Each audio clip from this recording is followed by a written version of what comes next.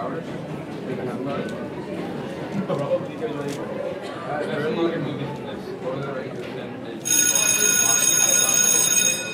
I like most of my How's everything been? Oh, pretty good. Yeah. Good. good. I watched. Um, I watched uh, the uh, the uh, and and enjoyed immensely the video with Keen and uh, Professor Heffler, Heffler. I think his name is. Right. That was really good. I had and I had put um, I had put I think neoliberal world order that list I gave you, which I had a great list in my head. Of course, I can't be bothered to write it down. Right. I'm just too nice for that. Right. And then and then I was like, oh, let me send Daniel a list of what I had in my head, and then it was uh, I gave you the junior varsity list. So that Oh, I just couldn't quite remember everything, but it's funny because they were. I, I, I'd like to talk about that because when Keen talks about the neoliberal world order, there's a very big difference between the way he talks about it and the way the other guy talked about it. So anyway, that was that was great. I really like that. And again, I was the 68th view. I'm not sure why it wasn't. Uh, I heard you guys talking about view count, and I was, was well wondering why, what the deal is. yeah. I mean, um, I think with this endeavor, um, uh, by the way, Scott's part of Planksip, right? So he Mm. puts on several series, uh, Mm. and uh, he's um, uh, producing a meetup where he actually went through. Um, we went through uh, Charles Bernowski's series, Mhm. and um, and we have a we have a lot of fun with a small group of people. And um, I think that the idea is is that starting the initiative, the the the mindset shouldn't be shouldn't make you fear and tremble over the fact that you don't have the the, the immediate onslaught of people. And um, um, and I think that was kind of the idea because the long form Mhm. discussion is something that you know there's there can be good that comes from it. Uh, it is recorded, and that's why I advocate for YouTube.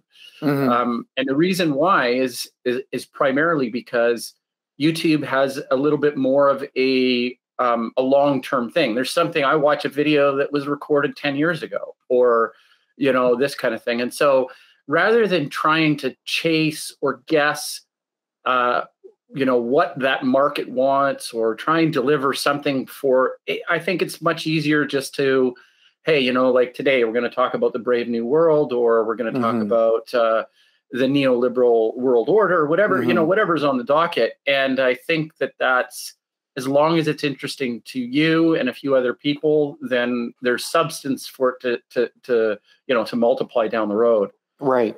and that was kind of the idea. Um, the actual strategy with with Keen is is something where he when he said yes to me and doing a weekly series, hmm um, he said to me, uh, "Let's just start a new channel." And I was like, "Oh, okay. Um, a new channel is difficult.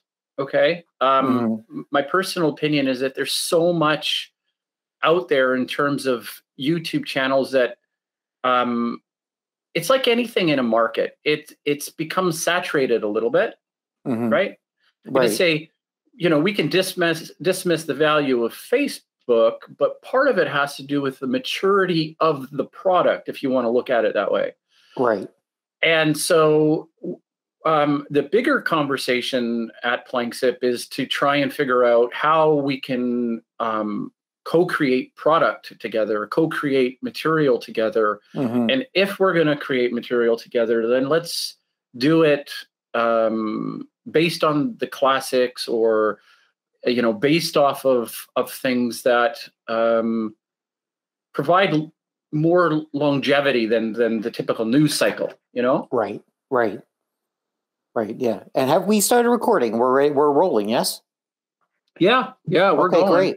Great. I like that. Yeah. It's just I, I didn't even I didn't even uh, realize until I saw the thing up there. It was because there was so much there yesterday with um uh, a couple like with, with, with what you're talking about with mentioning uh, Weinstein and Heather Heying and I I hadn't heard I hadn't listened to any of their stuff in a while and I it was a, a bit of synchronicity uh, or a fate or you know the muses were working with us or something because I had listened to uh, a podcast of theirs. They were guests on I want to say James Delingpole's pod or or um it was maybe it was um Spiked. Um the the, the British gentleman whose name I'm, is escaping me, of course, right now, but I need to recall it. But um, there, I didn't realize how cogent and methodical and ironclad their case against the COVID policies and against anyone getting a vaccine except for the people who are older and or have serious health problems. They're not playing games with that. I was surprised to hear them so and it's just, you know, they're like you said, these are liberal progressive people. I remember when Weinstein was first on Rogan's podcast and he called himself he said the same thing on Rogan's podcast that he said on Tucker Carlson's first blurb when when Weinstein got booted out of of uh, Evergreen. He said, "I'm deeply progressive," mm. and that's a direct quote. And yeah. And that's where I was, you know, I was I was surprised because uh, what brought this up was this long form discussion is where they lay out their case, and I believe it was on Spiked, um, and it was quite good. It was really, yeah. really something else. And but but like you said, you know, they're they're they don't seem overly concerned with like grabbing a ridiculous amount of views, and they certainly aren't concerned with following the mainstream narrative. And that was really oh, but, noteworthy. But they certainly have a huge following, huge, enormous, right? I mean, yeah. you know, they were um yeah, they're they're absolutely huge uh, in well, terms Weinstein, of intellectual circles, right? Oh yeah, well sure, and also well, I mean, approved intellectual circles now, no, they have a well received yeah. podcast, but I mean, you had what happened at Evergreen. It went viral on social media. I remember seeing the video on Facebook from someone tangentially connected to me back when I was on Facebook, and then Tucker Carlson and his staff see it, so he goes there and then Joe Rogan saw it and he was on there where he could spend two and a half hours explaining what happened in front of Rogan's audience, which even back then was very, very big. And um, and then you know how on Rogan's podcast they'll play the clips. Mm-hmm. So they played the clips of Weinstein outside of his room saying, "Look, this is important. What happens now? We can't just go about this frivolously." And he, of course, got shouted down, and the sheep start shouting, four legs good, two legs better. And um, they got run out, physically run out of town. And mm. Rogan's able to play that. And so that then translates into, like you said, a well received high volume podcast. But the fact that they're so good on the vaccine thing, and by good, I mean thoughtful and, um, and, uh, uh, what's the word I'm looking for? thoughtful and and logical. Reasonable. It, yeah, he's reasonable. Well, let me give you a little bit of I think I think some intuition and background on that. I don't mm. know why I disappeared, but yeah, uh, you you fade in and out. You're doing that's pretty cool. Is there like a button I can do to do that? yeah. I like so. That. So if things are going my way. I just vanish. I like that. So the the message I would want to give the listeners is that um, I I I lean left or progressive out of choice because I think it's a it's a more difficult position to take. Mm. Mm. I do. I, I think it's it's more difficult to progressively think how to affect change in in the world, right? I mean, I, I mean, I by default can go back to foundational values and say, um, yeah, there's an, an inherent um, value in um, in in in the hard work and you know kind of stuff my grandfather would tell me, right? right? right. yes. And and look, it's it's uh, I, I I was very fortunate to have um, very good um, father and grandfather figures, excellent family, raised really well, good mm-hmm. values, mm-hmm. this type of thing, right? Um, the progressive position, I think, is is is more difficult um, because on a um, by definition, it's progressively trying to figure out things you know, mm-hmm. to me, to me, right, right. So this is one of the heuristics that I, I, I want to convey to anybody listening. Um, now, the problem I think is that when when all of these new ideas and approaches are put forward, um, this is where uh, you know philosophy is immensely important. I think and maybe undervalued because you know we can talk about things like justice and we can talk about um, things like um, government structure, uh, an aristocratic um, uh, structure versus democracy, representative or otherwise. Mm-hmm. Um, we can, uh, you know, we can talk about things like um, responsibility, right? Mm-hmm. And what I'm I'm hearing as the the single most valuable piece to mount as an argument against um, a progressive liberal agenda, right? I'm using that in a Mhm. little bit of a pejorative sense, is to say, what about the responsibility? Um, are you going to own up to the responsibility? Are you going to do what you say? Or are you Mhm. going to direct people to do that? Right? Right. and I think that's and I think that's uh, you know fundamentally the issue. Um, uh, and and and I, again, I'll come back to kind of this you know um, you know first person this first principle premise of it's a harder to it's a harder position to take if you don't anchor it in my position's right because it makes me feel good or Right. virtue signal and of course this is the right way because this doesn't it make sense to save you know Mhm.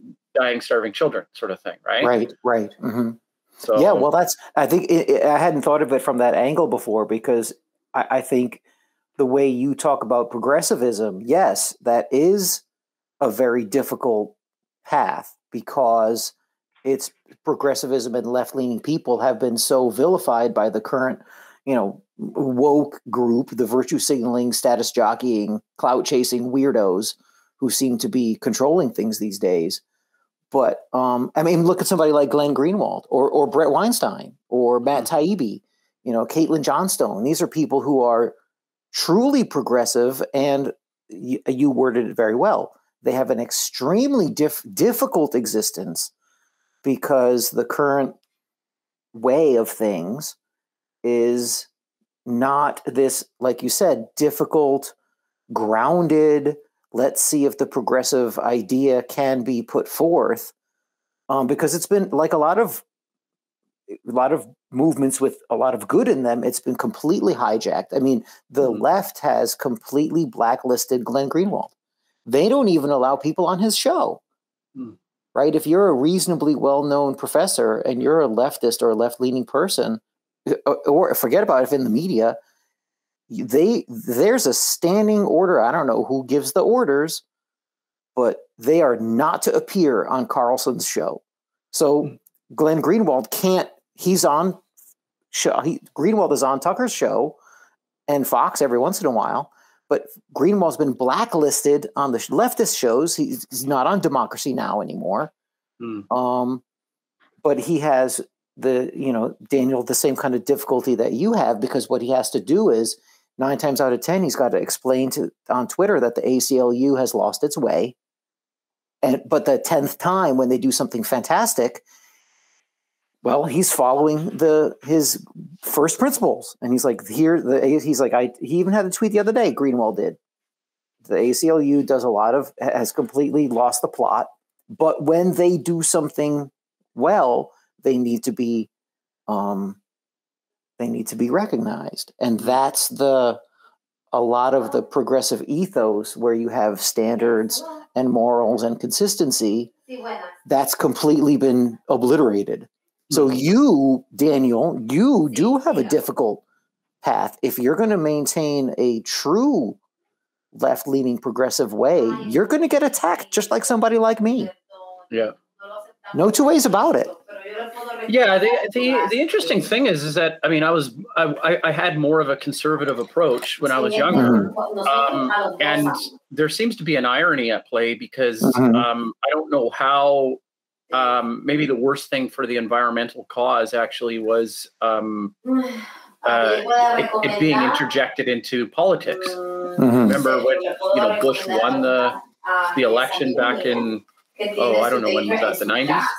the first one the Yeah. bush the father was the election of 1988 Oh no, the second Bush. I mean, Oh, because that was yeah um, that was 2000 Yeah, because Yeah. then you know, then it, it you know came to that almost like um, uh, you know swing vote or whatever. I mean, it was Yes. very close election, and Mhm. then all of a sudden the uh, environmental movement, you know, um, kind of kicked into Yeah. into that agenda of the left, and Mhm. um, I. It, it- so here's a simple sort of um, thing that I want to. necesita toda la semana, If, if the conservative, if the conservative mentality is about holding bueno. on, conserving, Yo le not being mandar el teléfono de la amiga mía y usted habla con ella directamente. wasteful, or something like that, Mhm. right? Right. Well, ge- yeah, generally, I, I'm not a conservative, and I, I don't think they're doing a very good job. But anyway, in general, yes, conserving traditions and maintaining uh, a, a generally Western way. Yes. Yeah, I mean, I, I, I, you know what? I'm, I'm really reaching here. I mean, I am. I'm disappearing again, but I, I, I'm Yo le mando definitely pitching here porque sabe- Mhm. because I'm just trying to illustrate a point that Ok, ¿Cómo se llama usted, señora? in, in an investment situation, there's something like prudency, right? Are you going to be a prudent investor? And Mhm. Ok. Yo le what do we hear from the time that we're young? You know, save money, No sé be a prudent investor, don't go with the ups and downs, try and go for the Ok, long term, un- un you placer know, y suerte. it- this type of thing, right? Right. Right. And I think that kind of sensibility is is where we should all find common ground right now Mhm. in relation to the environment and unnecessary spending is my issue, right? Mhm. I don't have to, you don't have to be um, a rocket scientist to understand that um, you know people producing things just for them to go in the garbage is is kind of ridiculous and silly, right? Yes. And that conservative mentality, if it wasn't so rocketed by the jet fuel of um, or, or catalyst of of like disposable GDP, right? In capital growth. I mean, shit, there's such a benefit to it. We're living in this peak of luxury because of Mhm. of that prosperous consumer uh, era Mhm. and the sensible part of um, it- my wisdom, and I think our collective wisdom is to say, I think you better, you know, kind of watch what you're spending. You might want to think twice Mhm. before, you know, this kind of thing, right? Right. Yes. And I think that kind of value is what needs to be um, brought to the biodiversity and the environmental issue. Okay, that's what Mhm. I think needs to be brought. That these are the groups that I think should be championing it. For some Right. reversed reason, we have the other side championing it, which really has nothing to do with like it's supposed to be. The left has been about liberating, right? It's like oppression with women or minority groups or Mhm. so there's the people that go about the business, and then there's the guys kind of like coming around saying, "Hey, you know what? Those groups, that group over there, they're really getting the shit end of the deal. Can you do something Right. to help us out here?" Right. You know, Yes. and reasonable reason prevails, and everybody kind of gets along, and all this kind of thing, Mhm. right? right. So I do understand the fundamental of taking that group and saying, well, let's put them in charge is kind of like, uh, wait, wait a minute. Like, do you know how to build a bridge? you know, like exactly. when it comes to a military, do you know how to like do an operation? Do you know how Mhm. to like do you know how to execute on these types of things? Right. Mhm. Or do you just have good ideas? right. Right? Yeah, right. No, it's a great it's a great um it's a great way to put it. And you have the the that that laser like focus in the left of the old days. And that's why I like hearing somebody like Steve Keen talk because it it's like an, an echo from the past on like a left leaning person who can think straight and has has he- he's got a that I don't know I, I guess because he has the accent and being an American you know I have this bizarre idea that if you speak with an accent like he does, it just means you're super smart, right? Even though it's completely yeah. ridiculous. You know, I, I, you and I can't do that. It's really too bad. But uh, um, it, it, because he he has a, a, a like like people from his era, a, a laser like focus on when there are institutions of power or groups that are taking advantage of their position of power, things like that, and saying, "Here's what the issue is. Here's the problem. These people over here are getting a the the the the short end of the stick because organized power over here is running rampant and needs to be controlled. And when he talks about, uh, he didn't talk about it with with you guys the other day, but he talks about a debt jubilee. Yeah. You know, my conservative days ten years ago. Forget about my libertarian phase. I, it would have been like dropping an atom bomb on my lap. Like, what are you talking about? Like a debt jubilee? Well, I, I, had to pay my loans back, and I we the, look at the people who took out. You know, it's their own damn fault, and all this kind of stuff. But Mm-hmm. he's but he's right. What he knows, I don't know if it's intuitively or through study, but that you have the student loan industrial complex has completely gotten out of control, and and and Keynes, uh, I'll just you know left leaning answer, I guess you could say, is debt jubilee. Just wipe it. Just Yeah. Just crack it. And it's it's caused problems for me at work because i have seniors high achieving uh 18 year olds and i drum into them find an affordable uh next level whether it's community college or high end school. Um our valedictorian last year was one of my students. She got a full ride to nyu good for Mhm. her. Mhm. it's a woke hellhole but you get to go to NYU for free, you take it. Yeah. And um, but uh, you know, I, I, I drum into them, find a school that you're not going to get saddled with a crazy amount of loans, and you go into a field where there is a job market. Because if you do, if you mess up one of those, it's bad. You mess up both of them, you're really in a difficult place because you're going to have a degree you can't use. You're going to have a hundred grand in debt and uh, the guy you just mentioned, the W. Bush in the early 2000s changed the bankruptcy laws in the United States. And this is where Keen knows, as an economist, you're now messing with the soup and you're making it bad. Now you can't expunge student loan debt if you declare bankruptcy.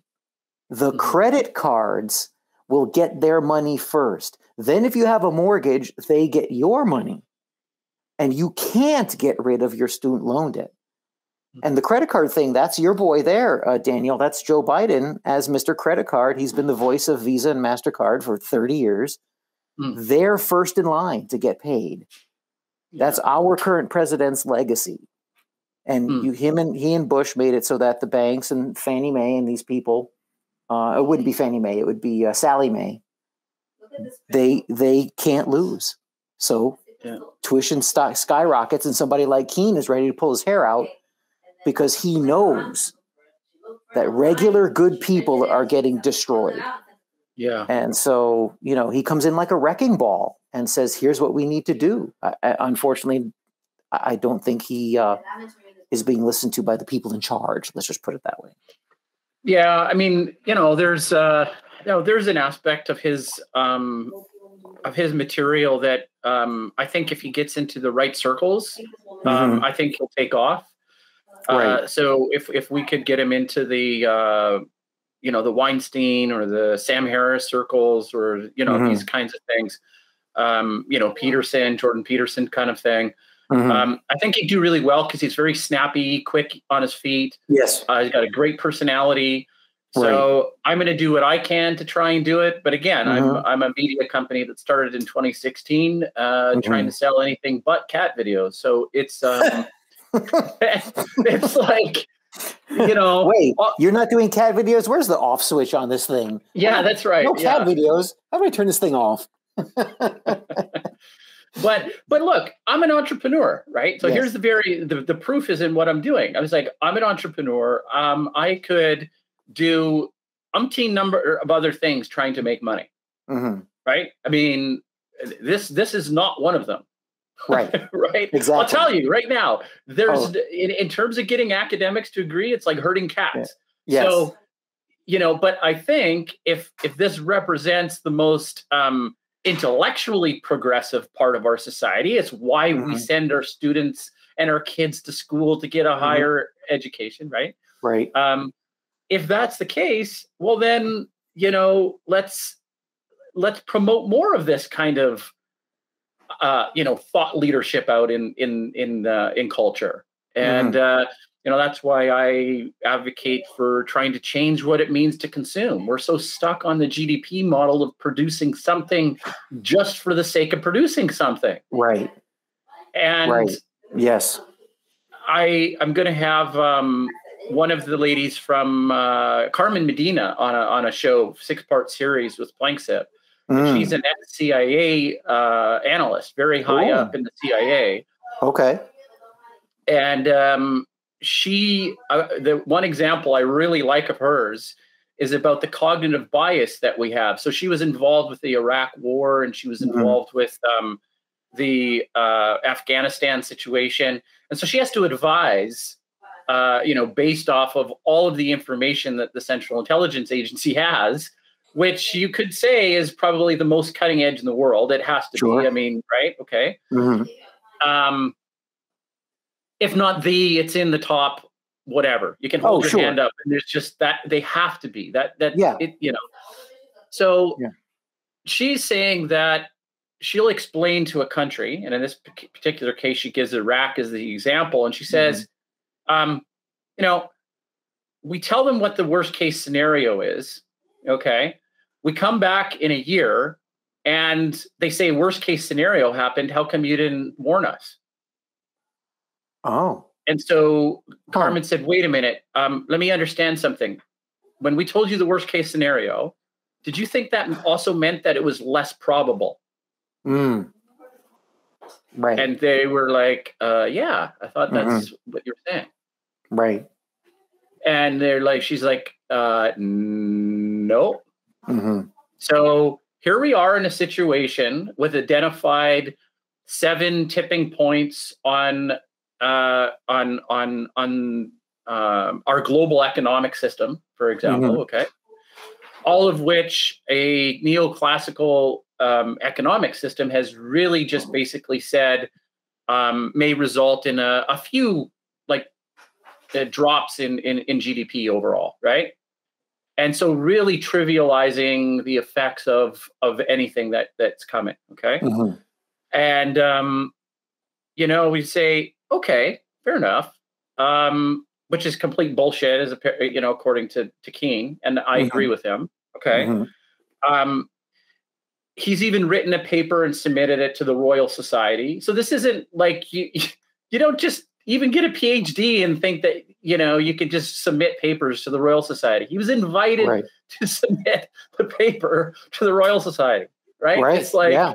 that's a big deal and Yeah. so there's there's there are some roadblocks that he's trying to work his way through in terms of final mm-hmm. submittal but the the point is is that he's got valid criticisms against what our politicians and leaders are actually implementing in terms of change right like right.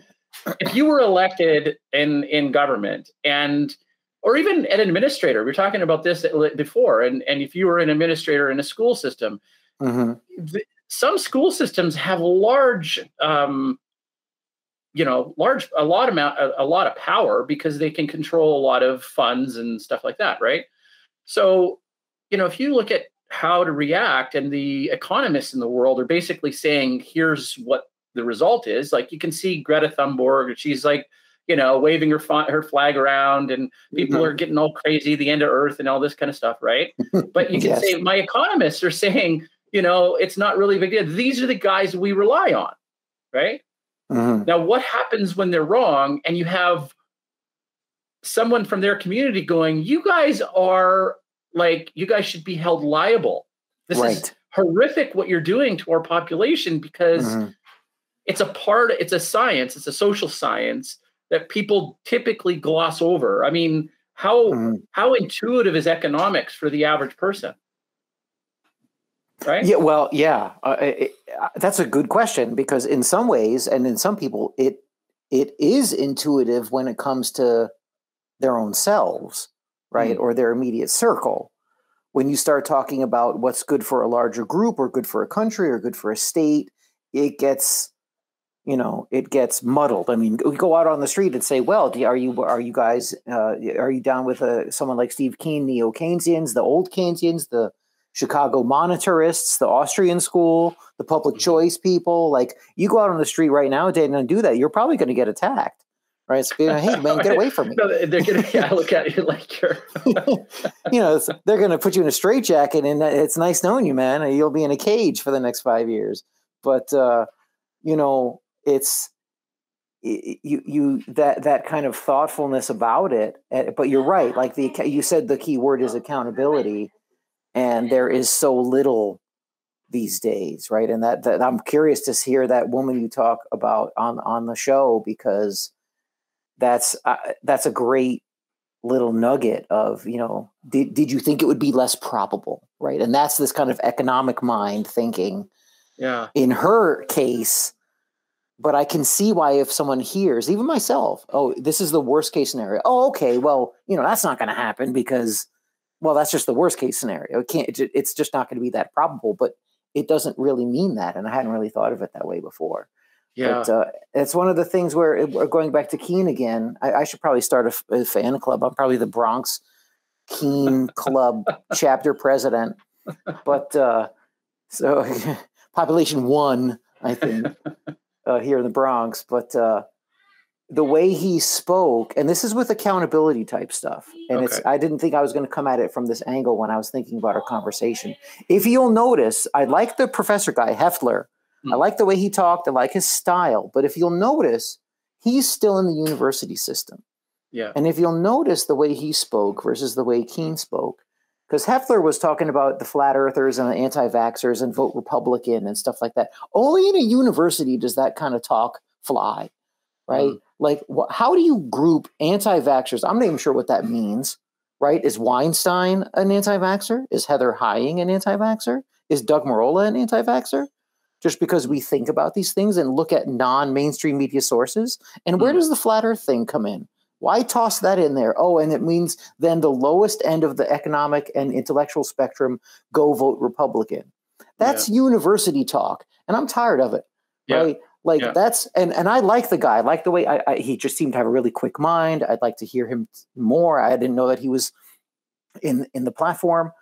Um, mm. but that's you can see how somebody in the university. It's almost like they get poisoned by that kind of you know, like and Republic voting Republican doesn't mean what it did pre-Trump.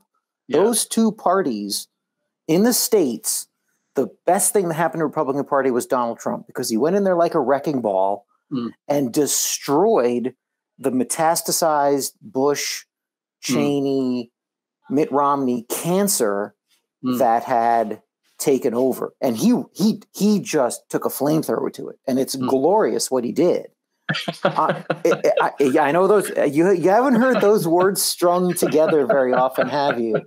But it really is the the um you know the the free trade foolishness, the stuff that Keen talks about. The Republicans were all over that. They love that stuff. Um and and Trump the, the shame of it all is that hasn't happened in the Democratic Party. And I'm a, a, a card carrying Democrat here in New York City right? Uh-huh. Registered Democrat from the old days. Um, but what, the what, National Party hasn't had that happen yet. Yeah. Uh, so, do I uh, dare ask about what you think about Tulsi Gabbard? I'm kind of a fan of Tulsi. I like Tulsi. Yeah. Um, I, I like her style a lot, actually.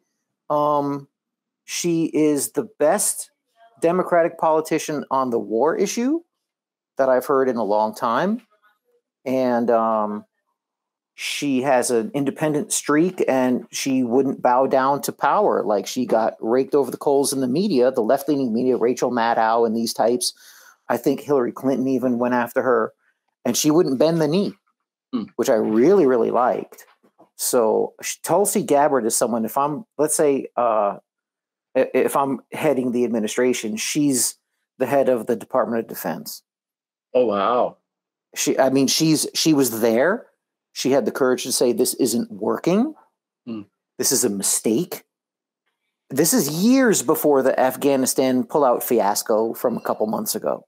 Yeah, I yeah. mean the, the the the real left, the the Dennis Kuciniches were talking about how the war was a terrible thing from the start, and the hardcore libertarians. Ron Paul was on this six ways to Sunday mm. 15 years ago. He and Kucinich would team up periodically and try to get legislation. They wouldn't get anywhere because you have a principled leftist and a principled libertarian.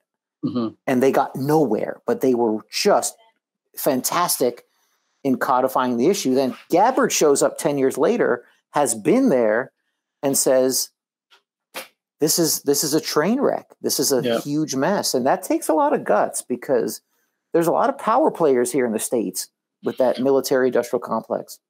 Well, let me see if I can, uh, you know, speed things along a little bit Mm-hmm. here because I've got some real world experience as well too. I mean, I've I've got Mm-hmm. so much of my adult career has been in architecture and construction.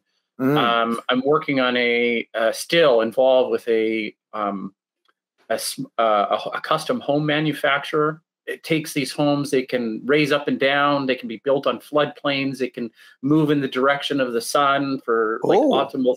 Ah, they're just the coolest thing, right? wow. Yeah. So I've been involved with that, and um, with our liberal government, which is the same as the Democratic gov- government that's in power, um, it's been difficult to you know garnish or like pull together all of the resources to make something this large happen. Right. That's Mhm. already with a paid off $10 million facility and a half a million dollar PPG paint line. This is, this is, and these aren't people that just started yesterday. I've been doing this for Mhm. 20 years Wow. and the uh, you know the guy that in um, that owns the plant he's you know one of the best in on the coast right Mhm. now so you have somebody that is is worth 20 million dollars in and i Mhm. mean just in like production capability on the pacific Right. coast be able to make things that matter to people which means Right. housing right okay so that's he's good to go and so he goes, all right, so there should be some government incentives for me to, you know, keep this thing moving forward because it is Mhm. really in in the goodness in the you know for the good of everybody, right? Sure. So what's the top of these applications? Okay, so what is your LGBT hiring requirement? What is your indigenous? What is this? How do you prioritize? And I'm we're like, what the are you talking about? Yeah. What is this? yeah. What is it? Unbelievable. Oh my God. Could It's that bad? Well, could you imagine you were mounting a war? Okay, Right. Like when, when, when you have to get and you have to build a bridge across two ravines, hmm you're trying to figure out how what's the most efficient way to do that with the minimal loss of life. hmm Okay. The problem Mhm. is climate change and the issue of biodiversity collapse is in the in the we're in the wrong party.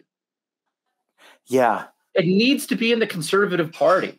Yeah. and that's where true um, change happens. So earlier you Mm-hmm. said, you know, your your your um, valedictorian student ended up going to a woke university. yeah. and I say- NYU, 75 grand a year. Good for her. Go Right. and change it. Yes. Take it and be that nugget from the inside, and you'll have a voice. You'll have this the loudest voice. Preach. Yes. Yeah. That's what I, that's what I, I, Don't put your head down. Don't this is why we get along because Yeah. I said the same thing. I told them, I said, here's what you're going to come up against. And I said to them, go there and change that out of control foolishness that you're going to find there that's completely lost the plot, completely lost their way. Go there and change that. I said, and some of you are going to get poisoned by it. Right. Yeah. Some of you are going to be the bureaucrat that tells your friend who uh, you and your you and your friend who are talented entrepreneurs. You got the, that construction idea is amazing. That sounds fantastic. But then when you need to go and get government permits or whatever, they ask those kinds of things. I, I'm in the public school system in the New York City area. It's like that. Um, we have the same thing, like we mentioned last time we spoke, right? What is the criteria for school leadership? And you know, it's not what it was. Let me let me tell you, I had a I was a youngish teacher. I was probably in my late twenties, and I was at some staff development thing, and one of the mentors was a guy who had taught at DeWitt Clinton High School. It's where James Baldwin went. Um, they're laun- they have a laundry list of of amazing alumni, and it's in the Bronx. It's not too far from where I live. And he he told me, you know, he was asking if I was getting thinking about becoming an administrator. I'd been teaching seven or eight years. And he told me back in the olden days, uh, the 1970s and before, you couldn't even apply Mm. to be an assistant principal unless you had 10 years of teaching experience. That was step one. Step two, steps two and three were you had to pass a written test, which was insanely rigorous, and you had to pass a verbal test, an oral test, o- oral, spoken word. If your language skills were s- substandard and you failed one, you didn't have to fail both. You you didn't pass your your application is tossed in the garbage. Try again next year. Mhm. Well, you know the the the crumbling of our institutions. The the the reason why no one has faith in them anymore is because that hurt people's feelings, and people who weren't able to get the job done organized and said get rid of this. And um, the board of it was i forget what it was the board of i can't think of it now it was the board of something it was within the new york city board of ed and they were in charge of making sure that the cream of the crop became school leaders and they dismantled the whole thing. And now it's that i mean what you were talking about with these forms for construction and architecture that's like a caricature. It's like it's like watching the it would be like if it were part of a three stooges or mad magazine right? It's like those you, you expect to read that in national lampoon. Like Yeah. wait wait this is serious? But it but it is serious. And in the schools architecture i mean it, it's really like a like a cancer. It's really horrible. Well, yeah, and I but but I do also, and in the same breath, want to recognize that there's um, minority groups where you know we want to be careful about what we say. Yes. Right. I mean, and I know that as an owner of the media outlet, I'm actually introducing a new series with um, uh, somebody from the LGBT community who's also going to be doing a series about um, uh, na- uh, like native rights and stuff. Right. And Right. so, but I think there's a time and a place for it yes right? Right. Um, and, and I didn't do that to say, see, I've done that. I did it Mhm. because I think it's an important topic, yes right? Um, J- Jordan Peterson may say it's an important topic, but he's Mhm. saying, don't change the language. Don't Right. force me to do things that are just um, like tyrannical in Yes. a in a in a in a government that values free speech. Yeah, there's a guy Justin Raym- Raimondo. He was a ha- hardcore libertarian. Wrote, uh, uh, I think he founded antiwar.com. He was part of the Ron Paul libertarian thing. Really talented writer, a gay guy in San Francisco. Mhm. And he said something I'll never forget. He died a couple of years ago, but Justin Raimondo, he wrote a great book called The Betrayal of the American Right, which is Okay. fantastic. That's a whole nother conversation. But um, the what he said was with the LGBT community, he said, We've become what we used to hate. Uh, where we are the ones now pushing things and lording it over people. And if you don't say the right thing, you're cast out right? We are now using our kind of social power as a bludgeon, and it's everything that we used to hate. This guy grew up in San Francisco in the bad old days when people would get attacked, Yeah. right? Where Yeah. when it was really rough. Yeah. And um, a working class kid, and uh, he he was really he didn't talk about it much because he was a, a talented writer, an anti-war activist, and one of the hardest core libertarians you could possibly imagine. Uh, but he, I, I never forgot that. Like he, he, he never brought up the issue. It, and, and when he said that, it started to make sense. Where these people now, if you want to, you know, you you can be in a position of power and no one's allowed to criticize you, and you're not held accountable. Well, well, now we're going to use this power and we're going to crush Daniel and his friends, and we're going to make them do as we say. And um, I don't know where I was going with that, but well, it, was, it, it was- it was perfect until the uh, to the end. The thing is, is the- I, I agree with that dramatic, you know, or the- to dramatize it is fine, but I think I think that if we if we assign, uh, you know, the language of um, like bludgeoning or yeah, I, I know you're just being over dramatic, but Mhm. the thing is, is that there's no one person actually doing it. It's not. No one's pernicious. No one has Yeah. prejudice against somebody. They're just what they're trying. They're trying to do something good, um, but I don't know if they realize how difficult it is to put business together. Right? Um. Uh, I dis I disagree. I think you're being too nice. Yeah. I think you're you need to come down to the rough part of town. You need to come down and swallow in the mud Okay. because you need to get dirty. Okay. Um, because the there are people like that who are well-meaning. I agree with you, but there are there are the numbers of I don't I don't know what the percentage is. There are malicious people out there now who have no problem and would have no issue seeing you, seeing me, some of the people in our circle burn. I, and I mean that, like burn the house, physically burn the house.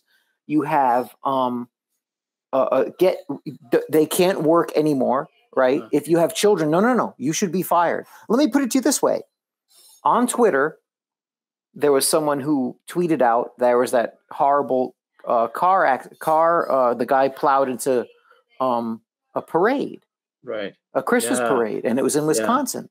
And Yeah. someone tweeted out, and it got a boatload of tweets and likes. Hey, man, that's just karma because the Rittenhouse verdict. That's what they get. And people Uh-huh. were applauding it. They were cool with it. That Yeah. is disgusting. It's repellent. And some of those people, too many of them, Daniel, Yeah.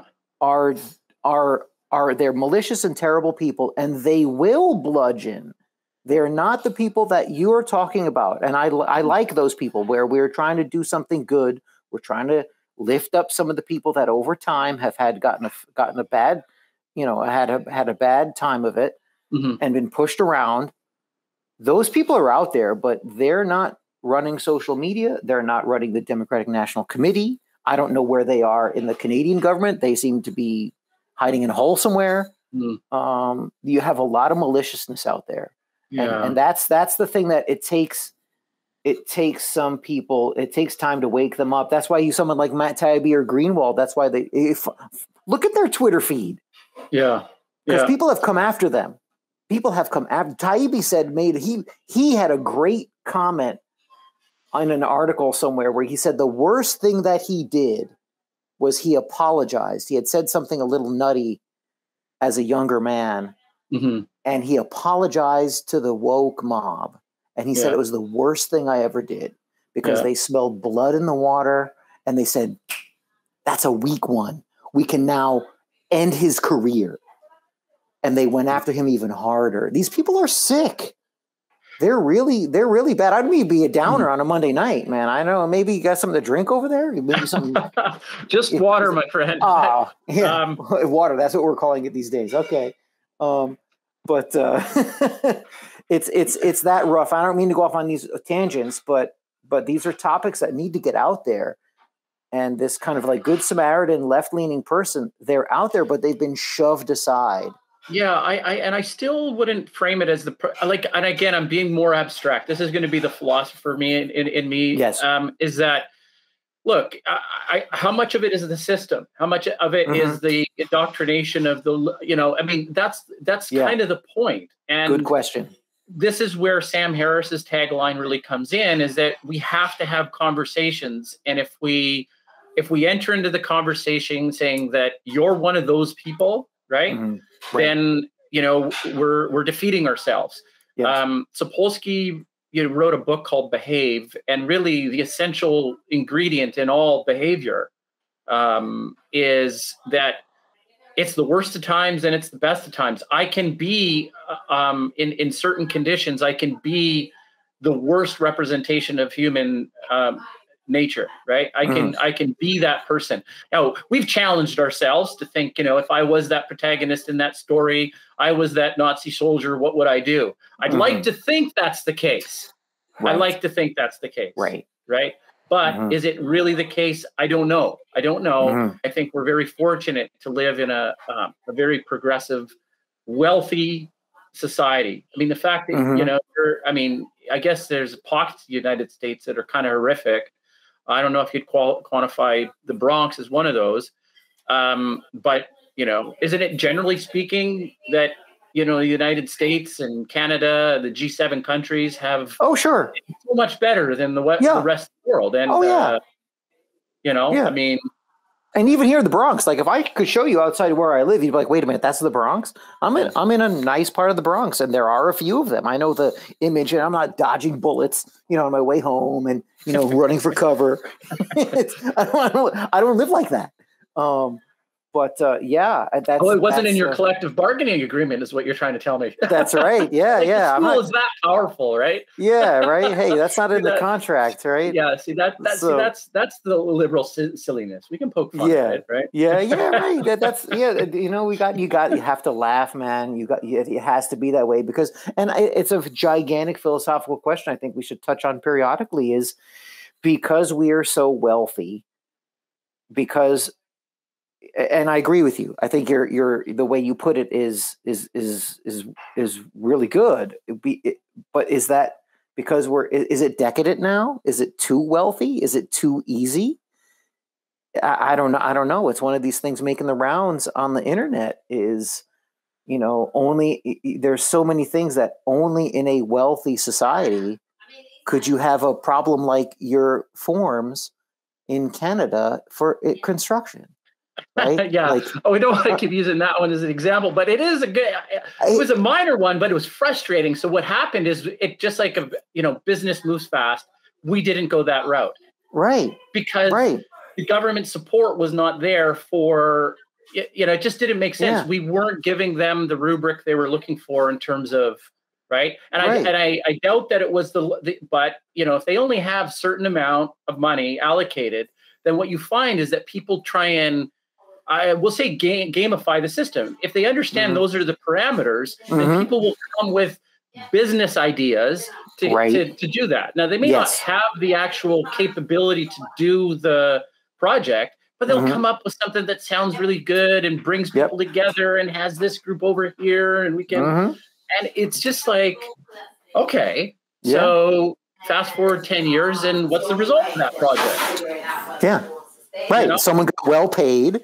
They're living large, and they, you know, they consumed funds that could have gone to much better stuff. The grant writing LL or not LLC, the grant writing and nonprofit world here in the states is rife with that. It's a complete dumpster fire with that kind of nonsense going on, and you know, you wonder. I don't want there to be any kind of monster collapse, but I mean, there's the old saying where a wealthy, decadent person, well fed person has many problems. A hungry person has one problem.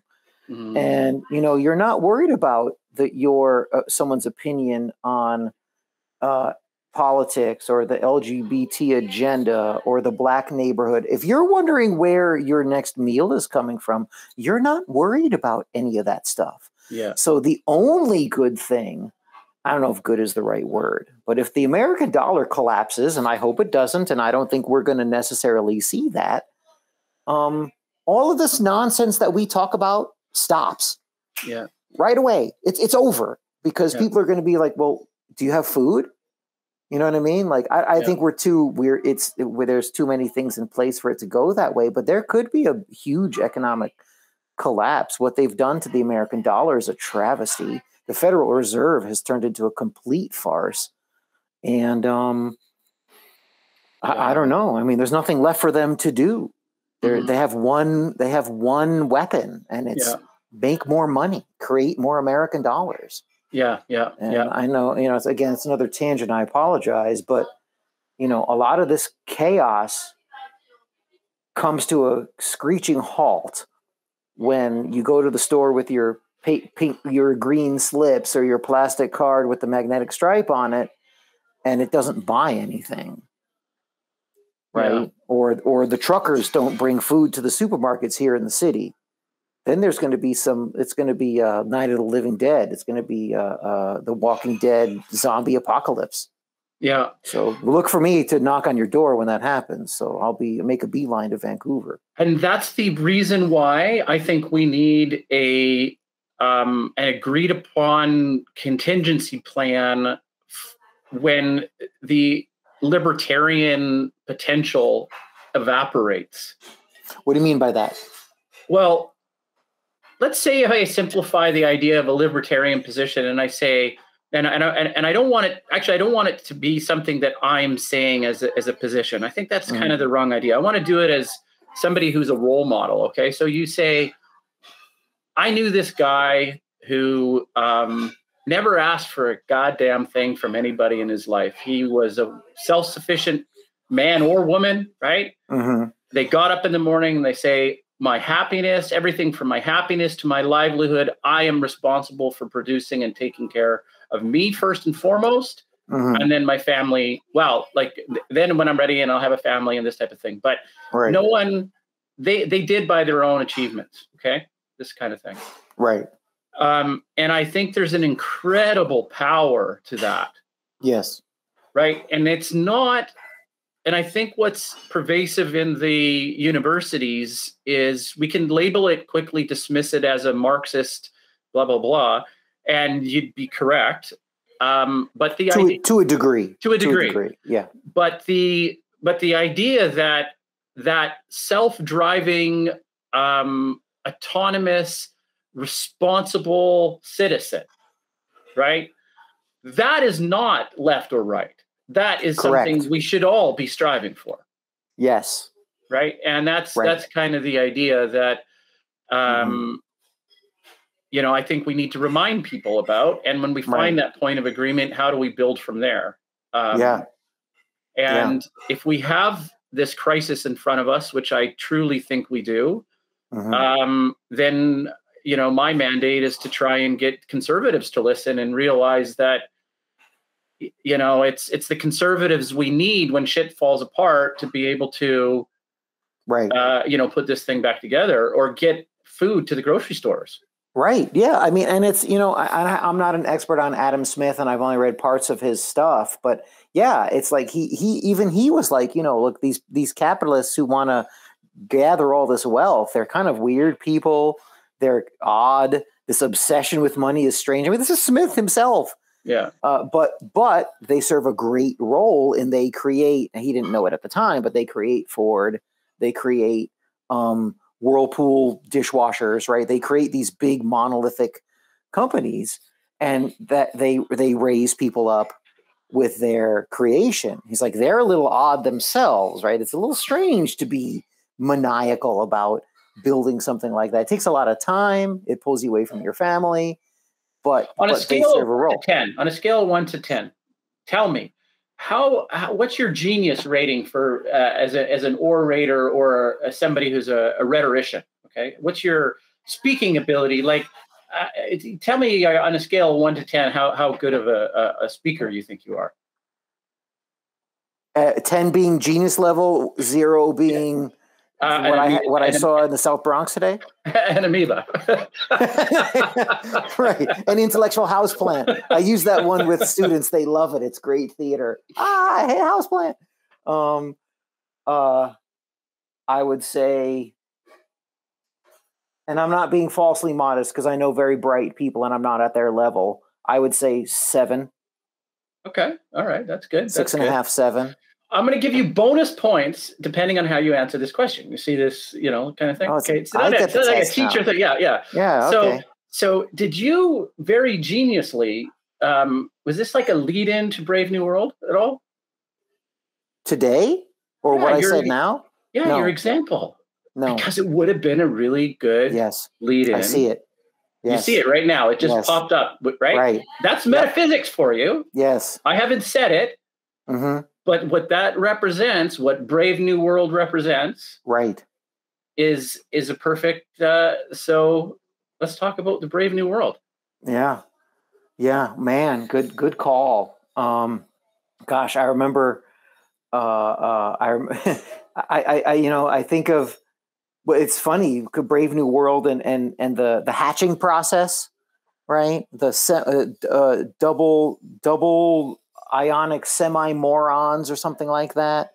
Um you know, they would play with the oxygen when they were hatching people and stuff like that. And uh it, it's yeah which one which one are we in? And maybe brave new world is the one where um where we're residing now.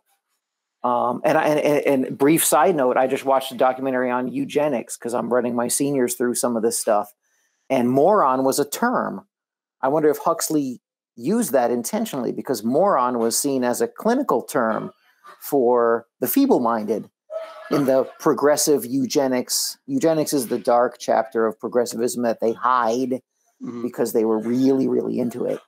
Um, and they don't really like to talk about that anymore for obvious reasons. but uh, moron uh, was a clinical term, and I wonder if Huxley. Uh, what he, what he meant that if, that's where he got it from what um what angle were you thinking this hit or or or vibed with Brave New World What I had Oh, well, the- up well, I mean, uh, where I my next point I thought was the most appropriate was the um, the structure of the intellectual class, mm-hmm. right? And right, I can in two separate arguments uh, advocate for a meritocracy, for saying mm-hmm. that the right people and the most qualified people to do the job mm-hmm. um, are are you know the right kind of system of government. Right. Um, I can complain that our um, are you know like but i think the conservative kind of fear is a slippery slope fear so mm-hmm. what happens and i think this is something that um, is part of that prudent nature is to say i don't want to give up an inch because if we um, if we give any of our uh, freedoms away we're then going down the rabbit hole of you know huxley or orwell sort of thing right and I think right. because they're so meaningful to us, these mm-hmm. books, mm-hmm. that it, it does swing the other way where it says maybe we're putting too much emphasis in it and we are all really good people and we should really try and face this problem together because mm-hmm. the dystopia that some of these books um but that these books actually portray are not actually the fact of current day and they don't mean that that's how they will move into in the future, right? It's mm-hmm. just that's how I would talk the conservative back from the ledge to say we still need dramatic, sweeping change mm-hmm. because, um, like whoever was captaining the ship before just was heading towards the freaking iceberg. Yes. So we got to go this way or that way. I don't give a shit which way. Right. But we got to pick a way, otherwise we're hitting the thing. Yeah, well, what happened was in the American conservative movement, it got hijacked, uh, like all good things, and they kicked Murray Rothbard out. Gosh, probably in the late '60s, early '70s. They booted guys like Tom Fleming, a really good conservative author. He got kicked out of the Cool Club mm. for writing the truth about things like World War One. Best World War One book you'll ever w- read is called um, uh, shoot, it's here on the shelf. What's it called? Um, the Illusion of Victory Tom Fleming. Fantastic. And you know, you're not supposed to write. You should have pulled it out because there's like this illusion of a bookshelf behind you because we're in that. oh yeah, yeah, yeah. Hold on, that's right. Watch it. It comes out. Yeah, here it is. It comes out of the ether there. Yeah. Let's see. It'll it'll show up. I don't know how well it shows up.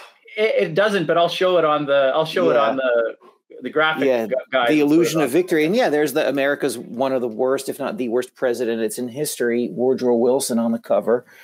And um and and so these these Fleming out, Rothbard out, and and weirdos like uh, uh, uh, Irving Kristol and then his son Bill Kristol.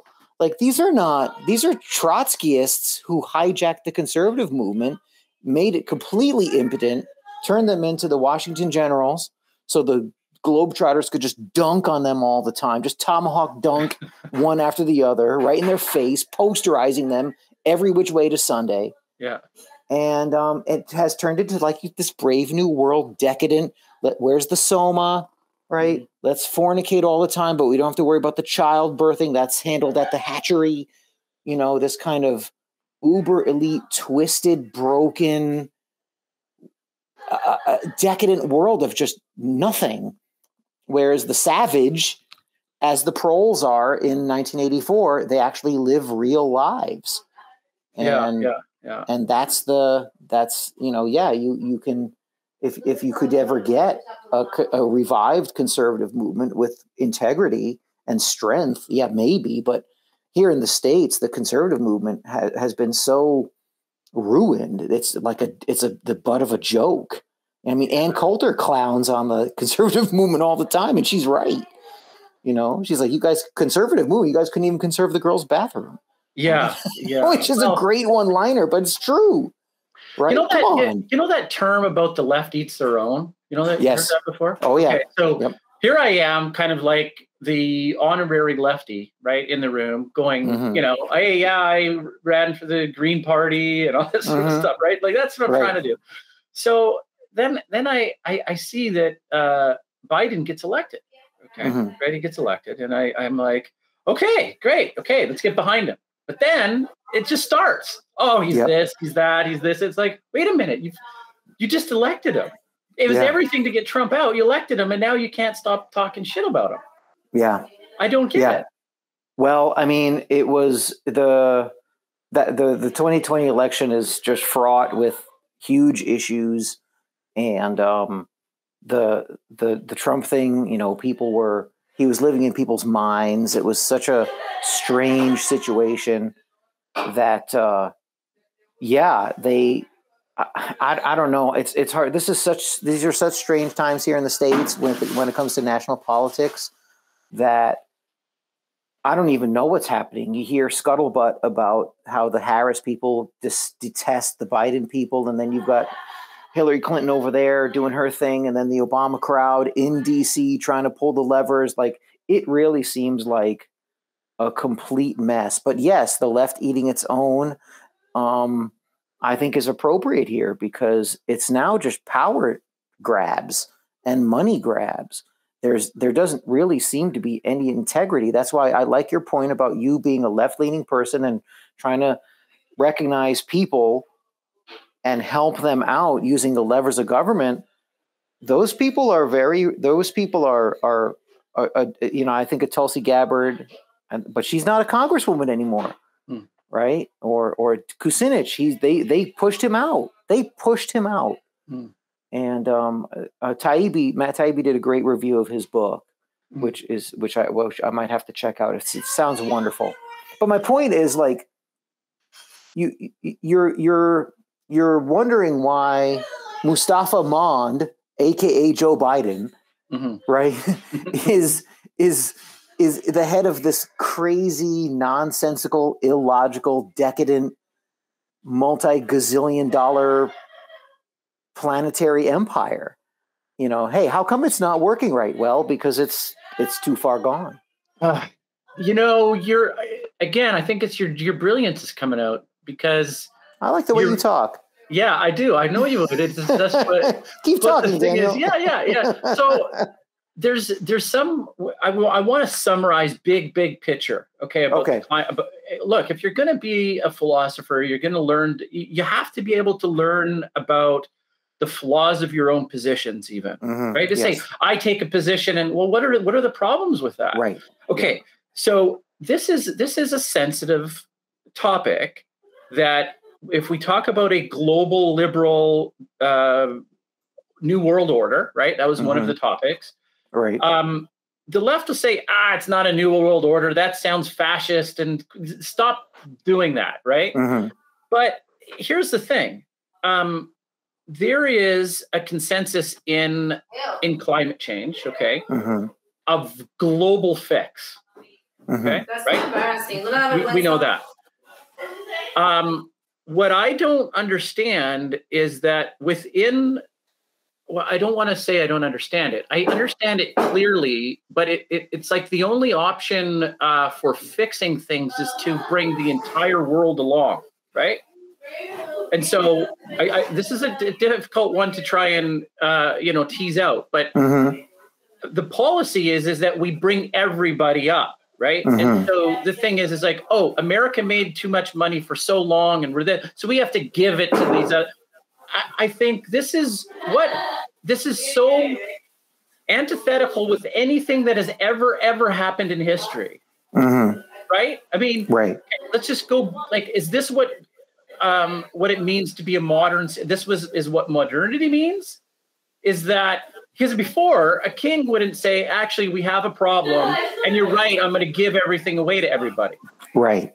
there is such a thing as power accumulation. There's Mhm, there's winners and losers. There's geographical areas. There's that that's the reality of what we live in.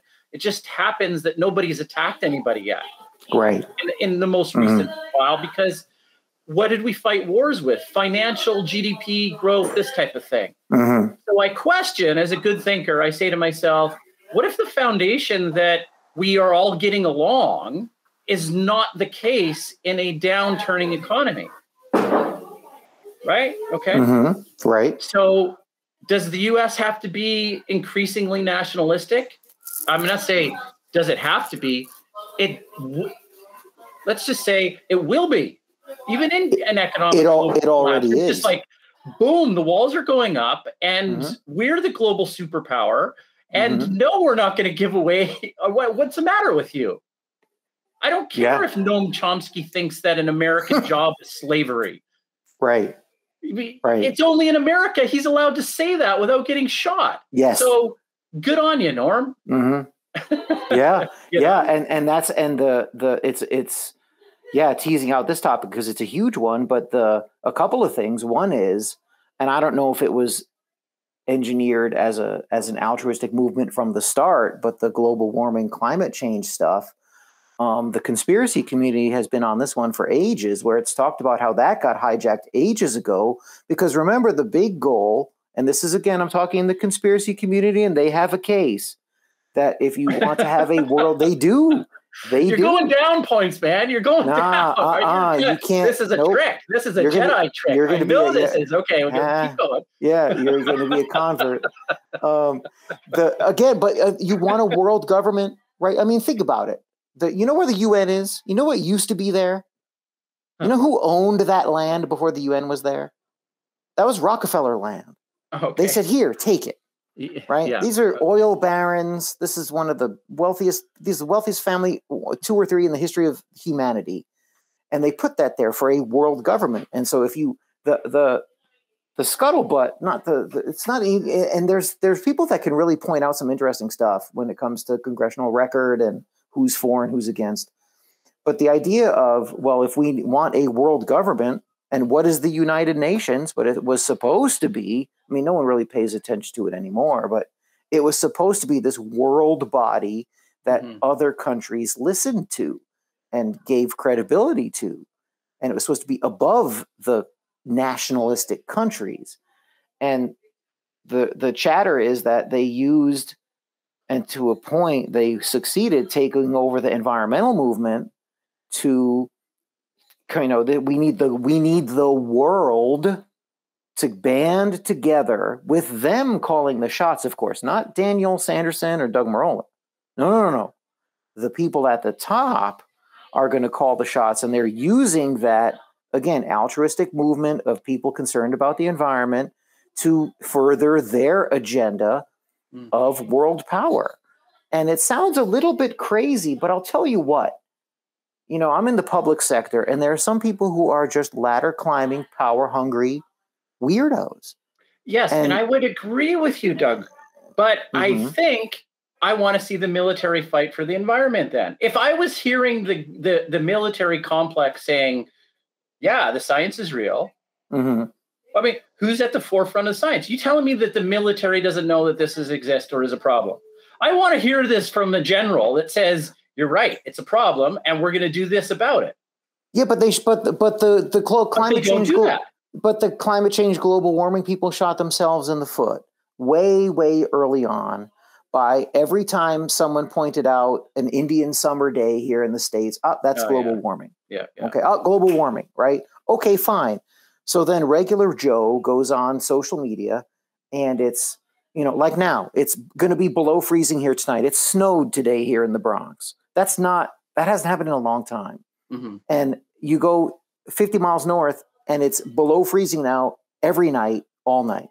That's Mhm. really cold. But if you say, hey, look, doesn't this make your global warming world it doesn't it doesn't really jive with what we were told back in 1989 or 1992 and it doesn't although that's weather that's weather we're talking about climate well wait a minute and that indian summer day in november when it was 68 degrees and it's only five days before thanksgiving you were saying look that's proof of global warming you can't do that you can't do that with thinking people and have that kind of double standard and hypocrisy and you take that small example i gave you and you multiply it by 10 billion and that's what you get on twitter so on facebook instagram like you get all of this kind of stuff and so I, you know, I I don't do the global warming debate anymore. I, I just I, I kind of right. check out because I invest in. Uh, I don't know what's going up there in the Athabasca Basin, but they're printing money hand over fist, man. Mm. Right? I invest in uranium. I invest in natural gas because I'm I'm out. I'm out. I happen to think that because of the, the Russian scientists who went in front of the UN and said, look at the sunspot activity, it's going to be really cold for the next 15 years. I've told students, I said, watch. I said, I tell them, I said, I'm 49. You guys are 18. When you're 25, 6, 7, and we're in the middle of a year over year cold snap, which can go between five and 30 years, depending upon what this what the science of this woman says, they're going to say, oh, we meant that all along. I said, they're going to say, oh, yeah, co- really cold? That's what we meant. That's what we meant by climate change. And they didn't. I'm old enough to remember. I don't know if I'm going to live that long. My, my family history, right? Doug is going to be in a box. But um, they're going, they, I'm telling you, know, you could write it in blood. It's going to be 2032 and it's going to, growing season is going to be short. It's going to be insanely cold by where you are and where I am. And they're going to say, yes, this is what we meant by climate change. This is extreme cold, and I, they, they, they so they lost me. I, I'm I'm I'll I'll do the climate talk, but I don't get angry about it. I don't get emotional about it. I try to be a good steward in terms of recycling. I get mm. very expensive paper towels and toilet paper made out of bamboo so it doesn't cut down trees.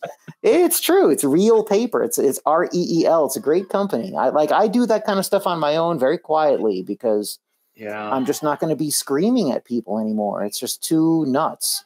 And that's well, why the environmentalists have to take their cause back. Yeah. Hmm that's interesting because I, you know, as a friend, I, I say I think there's, I honestly think there's a lot of misinformation in there. What you're yes. talking about, and um, but I'm okay. Possible. I'm okay with that. I mean, you know, anybody can look up these these positions and understand that that that it's the point of a disagreement and it's it's basically the entire position of my family in Alberta, right? And I love them just the same Mm-hmm. Um, and we'll go back to Steve Keen and his show, and I'll say mm-hmm. that he says, you know, one of two things are going to happen if climate change is, is true. Mm-hmm. Okay. And one is that we're going to have some serious uh, changes happening fast, either mm-hmm. by our government or by nature. Uh, right.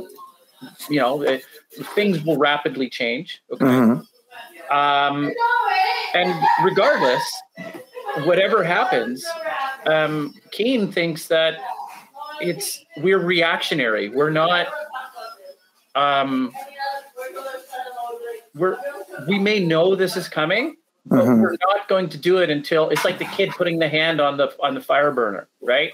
You're not going to change your mind and go, "Oh yeah, it was a public relations and marketing fiasco that fucked us all up," right? Right we didn't have the proper scientists and the proper people in place you know putting, putting mm-hmm. the correct information in front of us and putting a plan forward to us that made sense for us right mm-hmm.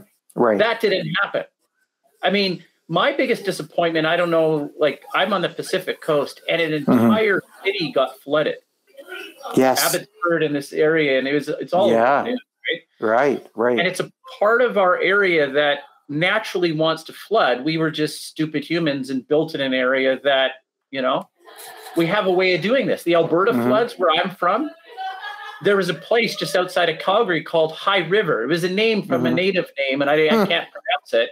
Right. But like, just imagine the native kind of conversation. Uh, you know, the white guy comes into the room and right. says, uh, "Yeah, we're going to take over this land," and mm-hmm. they're like, "Oh, what do you mean take over?" Yeah, we're going to call it. Uh, what what was the name of it? It's a, a High River. Yeah, that's a perfect mm. place to build houses at a whole community, a city. In fact, right. we're going to on this place called High River. Right. Right. so, like, Whoops. now I'm in architecture, and right. my issue is that I'm upset at our community. There's mm-hmm. when I take things and I'm trying to build something, for example, I take it to an engineer, mm-hmm. and they do stress tests on it right right for example to make sure that mm-hmm. you know it's going to last is the beam properly sized to build your house right? These Mhm. are the things you want to know, you want to have answers Right. to. And when you're building, you build for 100, 200 year disasters, right? Mhm. Um, the problem is, is that why would you build it on a flood plain? Right. Where was the oversight? Where was the mathematical Mhm. oversight to make sure that this didn't happen?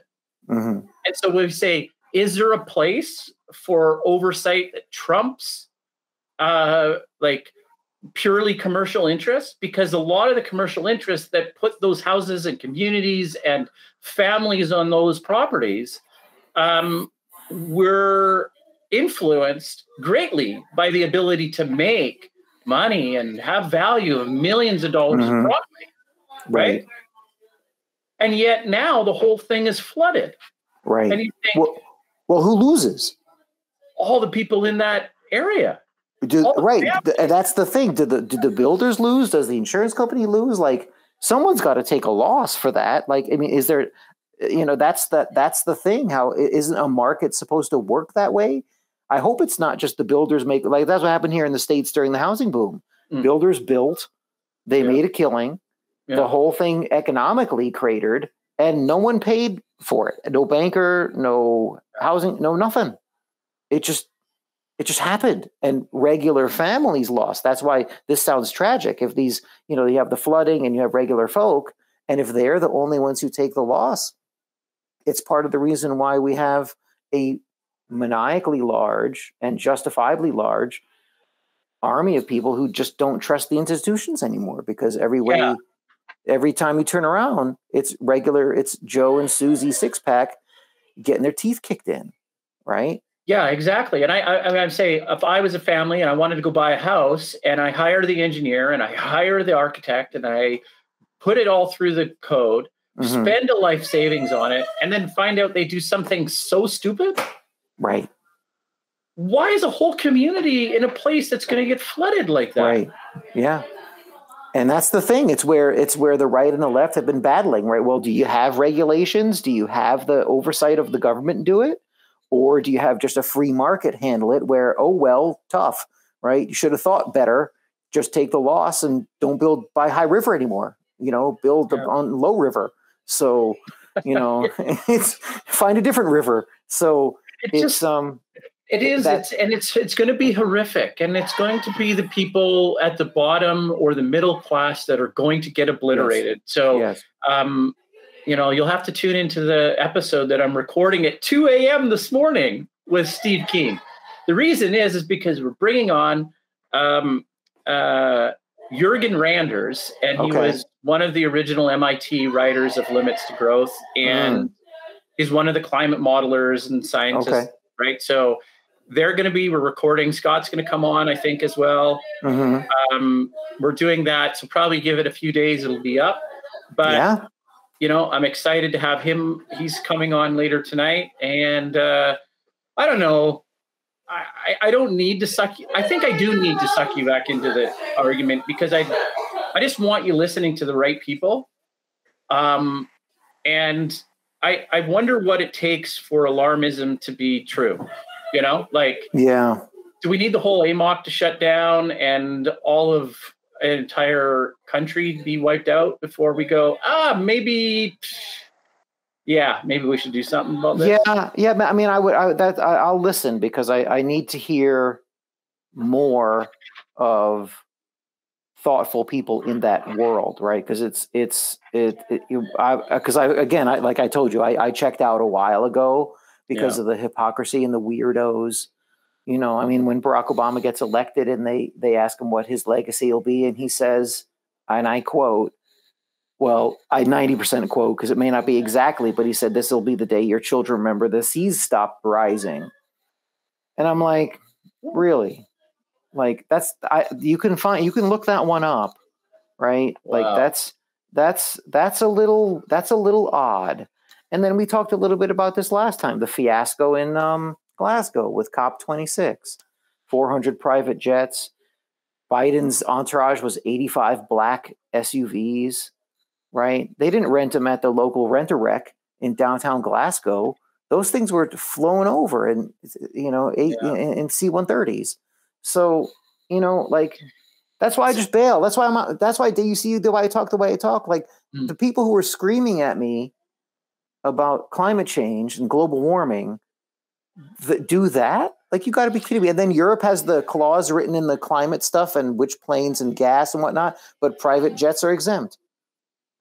So you here's can't the- do yeah, yeah, yeah, You yeah. Just can't. I- I'm I- sorry. I, you know what? It wasn't that I'm leaning towards, um, you know, that they're untruthful. Let's just give them give them this for for a minute, okay?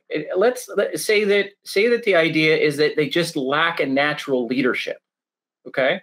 Because if if if if you were trying to rally troops, because I think this is the idea. It's like, and and it's like we have sh- we're short on resources, Mhm. right?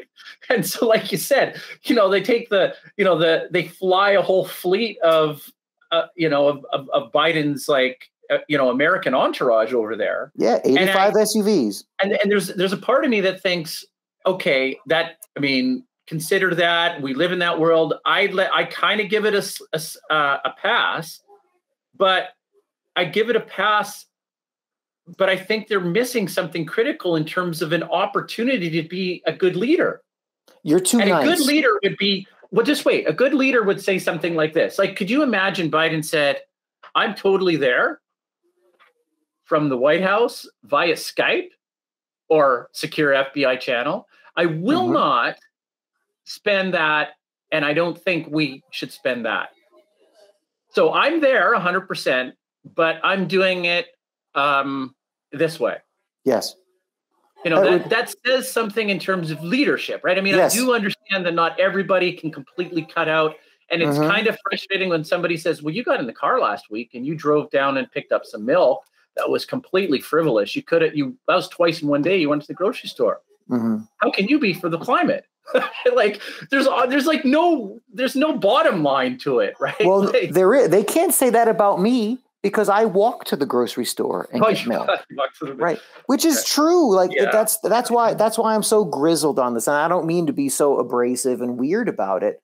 But I Yeah, do yeah. walk to the. I prefer to walk Same, to the grocery store than to get into my partial zero emission vehicle, Subaru Forester, 2009, sage green metallic, and Oh, drive to the grocery store, which I can walk to. There's I'm in the Bronx. There's two grocery stores right close to me. I don't Yeah, need to yeah. drive anywhere unless I'm carrying 80 million things. But so I mean that so I do that. That's why that's why I hear all this stuff and I just like, eh, eh, thanks, I'll pass. Yeah. Because I'm not doing any kooky stuff like that. I I I, I you know, and people are surprised because they think I'm some kind of rabid, fire breathing, conservative, libertarian oddball. And then I talk about the environment and the I told you about my bamboo paper. And you know my wife flips me endless amounts of hell about getting a new car. Partially she's right because our my old rickety subaru is you know rickety and mushy. Um but i i don't need to. You know what i mean? Like i don't it would be a waste. It would be this consumption you talk about. Yeah. i don't need i don't need one. Yeah. the one i have works Yeah. and i throw some money into it and it's uh, another five years yeah. so if I'm you, doing yeah, that, if I'm doing that, Yeah. then people with way more resources than I have, they can really do better. Yeah. And they're not. So the smart people in the climate arena are drowned out. They're, they're, that, I look forward to hearing these people talk that you're mentioning on the show because it'll be a breath of fresh air. It sounds like. Well, there's but there's one finesse part that I want to na- I want to really bring up that I don't think people are answering when I'm on their side. I, I Mhm. think of the people. Okay, Yes. so if you take the entire gross domestic product collective of the world and you slash it by ninety percent, for Mhm. example, like massive collapse. Okay, Oof. right? What? How are you going to like the best of our minds? How are we going to deal with this? Like how are we going to deal with it and i think this is these how come those plans aren't coming up if you're certain 98% certain that climate change is real i mean these stupid things right then tell me how do we fit how, what do we do about yeah. it Yeah. Yeah. Good mean point. not, not that we because it's like what do we do but we stop you no what do we actually do to feed people Right. Yeah. It's going to be a bloodbath, and there'll be an amazing and incredible fracturing of everything. Countries, states. The Amish are going to be fine, right? The the the I don't know what they're what I'm allowed to call them these days. The Inuit, what we called Eskimos in the old days, up way up north, they'll be fine. Um, kinda, kinda, yeah. I mean, it's a mixed bag with the with the the the, the we're all, screwed. we're, we're all screwed. In certain Yeah. areas, it will be worse than others. But yes, it'll be know, a great die off. Does anybody really expect that the the the prosperity that we're at right now it doesn't have to continue it it could continue or it doesn't have to right i mean yeah, uh, that's the thing the way history works yes, this is the cycle. I was going to ask you earlier, but it's such a huge topic, and it is getting a little later than normal for us. yeah But, uh, uh, I was gonna I was gonna ask you. We can't do this now, but Daniel, next is show this next show yeah is this right? Is this part of the inevitable cycle? And we're alive at the time where the latest empire, the American empire, is now on the downswing, and we're going to watch Rome go from a million people to fifty thousand people. Yeah, quite possibly. But I want to tell you, and then we'll talk about this more in the next show. So this can kind of be the closing. But if you think about this, that there's um, there's three main um, pockets of population as far as I'm. It, I mean, this is fairly arbitrary, but there's China, India, and the United States, roughly speaking. Right. Okay, Okay. and represent forty percent of the population, but pretty close to hundred percent of the ideology. Okay, if you look at Mhm. the the uh, you know the communist sort of mentality, and then you know the re- I don't know how we even uh, you, you know describe the Indian continent or the Indian sort of tradition, but Right. India is in that part of the world, and then China and the United States. So we or our United States only represents 18% of the population. Okay. And so Mm-hmm. at what point does the philosophy say, I prefer Western democracy as opposed to communist rule or Mhm. this type of thing? I'm not saying they cannibalize each other, but Right. what if they do? Right. And that's that's Yeah. the kind of thing because if you see that the um yeah, and, and it wasn't so apparent now, or it's not so apparent now, but in the United States, um, when in World War II came, our grandparents had to think about things like this. Yes. It- my, my participation um, in this war um, is is my life matters for um, like a um, like a I don't know like a, a, a- an individualistic society, an American society, an American ideal. That's what I'm Yes. dying for. yes. Right. And, That ethos was there for and- sure. yeah, and so um, I think in in the the heart of the conversation with the global fix, uh, the only defense does not mean because we're in a global economy that everybody gets. And I know that sounds incredibly selfish, but what I wanted it's a realist position too Yes. to say, let's just be real here. There Mhm. are people that are going to put their arms up and say, "This is mine and that is yours." Let's acknowledge that. I think I it's don't already do that happening. with my neighbor, I know. right? It's already Daniel's already happening. Nationalism is on the rise.